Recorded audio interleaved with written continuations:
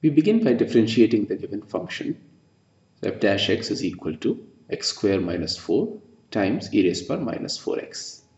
Now in order to determine the extremas of the given function, we set f dash x is equal to 0, which implies that e raised power minus 4x times x square minus 4 is equal to 0.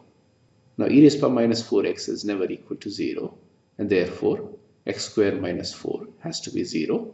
In other words, x is equal to plus or minus 2.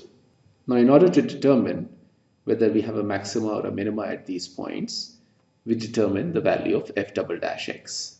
This is equal to 2x times e raised power minus 4x plus x square minus 4 times the differential of e raised power minus 4x which is minus 4 times e raised power minus 4x.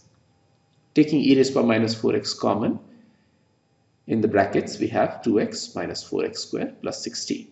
This implies that the value of f double dash x at x is equal to 2 is equal to e raised power minus 8 times in the brackets 4 minus 16 plus 16 which is equal to 4 times e raised power minus 8 which is positive and therefore the function achieves a minima at x is equal to plus 2. Similarly, the value of f double dash x at x is equal to minus 2 is equal to e raised by 8 times minus 4 minus 16 plus 16 which is equal to minus 4 times e raised by 8 which is negative which implies that the function achieves a maxima at the point x is equal to minus 2.